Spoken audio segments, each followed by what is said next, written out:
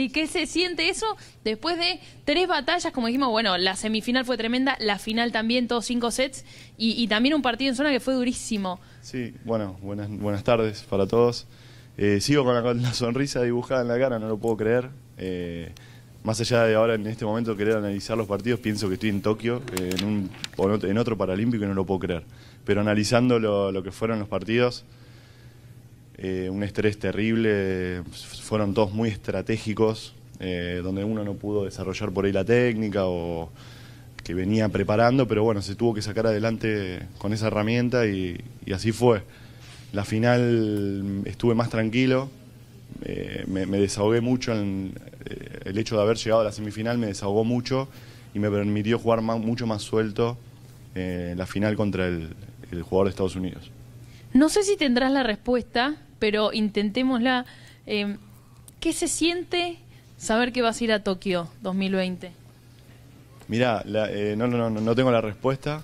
Eh, me tocó ir a Río por una invitación, una wildcard, que fue por, por haber salido segundo en Toronto y por el desempeño de ese año me, me dieron una invitación y esta vez es como que siento que es mía, me la gané de punta a punta trabajamos un montón y nada, todavía realmente cuando vine acá no dije, no, sentía que tenía nada asegurado, entonces ese último punto en la mesa hace menos de una hora, cuando la pelota queda en la red, se me explotó la cabeza, no, no, no, lo puedo creer. No puedo creer, estoy muy feliz, muy feliz. ¿En qué pensabas? Se me explotó la cabeza. me explotó, me explotó, estaba muy tensionado con el punto y como que, no sé, me cayó un mazazo copado en la cabeza que que me, no podía parar de festejar. En, la semifinal fue todo, fue todo llanto, me, desahogué y ahora era, no, no sé, alegría, pura alegría, la verdad que...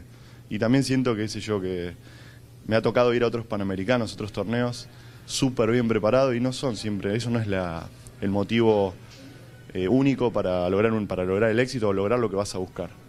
En este caso vine bien preparado, pero con evidentemente jugó para bien la experiencia. Yo hace 11 años juego. Este es mi tercer para, eh, mi tercer para Panamericano, jugué en Guadalajara, en Toronto y acá. Así que evidentemente eso también juega. Y bueno, nada, feliz. Chicos, los está escuchando el campeón para Panamericano. Wow. Hola Mauro, ¿cómo estás? Eh, Dani Contreras te saluda acá. Bueno, primero que nada, felicitaciones.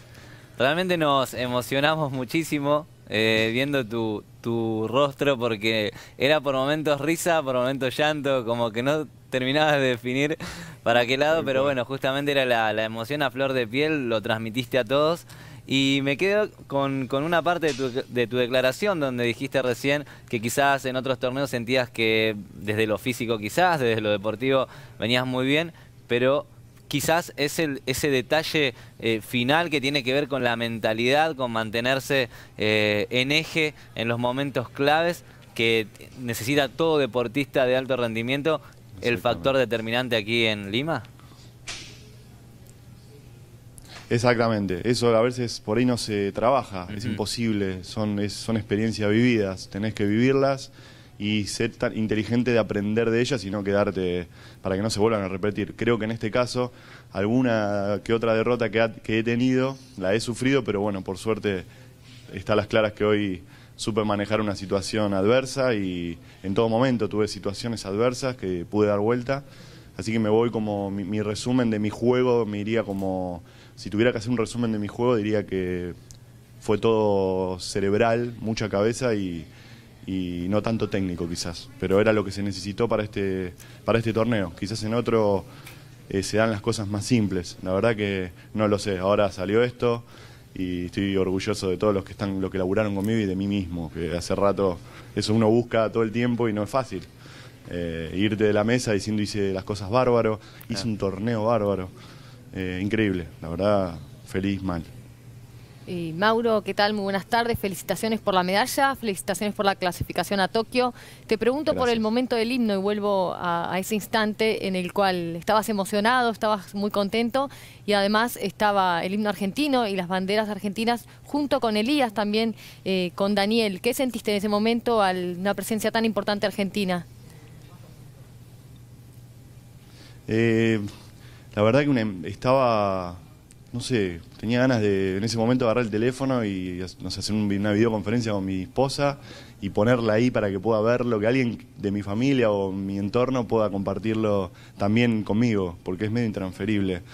Eh, primero estás, el objetivo es ganar el oro y clasificar a Tokio, y después encontrarte con, con que estás en un podio donde se levantan tres banderas argentinas, eh, suena tu himno, la verdad que eh, me ha pasado en torneos en Open, sin torneos de no tanta por irrelevancia como este, y no es lo mismo. Eh, por eso por ahí la emoción y, y se veía de esa manera.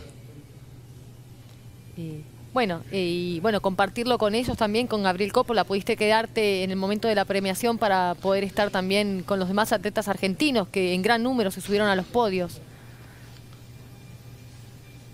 Sí, eh, bueno, con Gabriel compartimos por ahí la habitación, también tuvimos la suerte de que Elías y Daniel Rodríguez pudieron tener sus medallas, así que hoy creo algunos más que otros, pero nos vamos a ir todos contentos. Gabriel, te saludamos entonces y te decimos, te saludamos y te decimos que tengas éxito entonces en la próxima, en la próxima competencia que se avecina, en la que es por equipos. Y bueno, seguí disfrutando y te dejamos como siempre la pantalla Dale. para que saludes eh, y, y des los agradecimientos que quiera y cierra Sofía desde allí. Bueno, de agradecerle primero a mi señora Flor, que es la, la que llego siempre cuando, cuando llego a entrenar o llego a algún torneo donde no me va bien, es la que está ahí, la que me, la que me contiene, la que me entiende, la que me conoce, y hoy está de- tan loca como yo por esto. A mi viejo, a mi vieja, Orlando, Carla, a mi hermana y a mis, todas mis sobrinitas, eh, les mando un beso grande y bueno, nos vemos en Tokio. Bueno, ahora a tachar los días, aprender japonés y a entrenar a full porque se viene otro sueño. Agarro los palitos medio de, casi eh, de suerte, digamos, tengo, que- tengo que entrenar. A comer sushi más seguido también. Como sushi, pero medio rústico.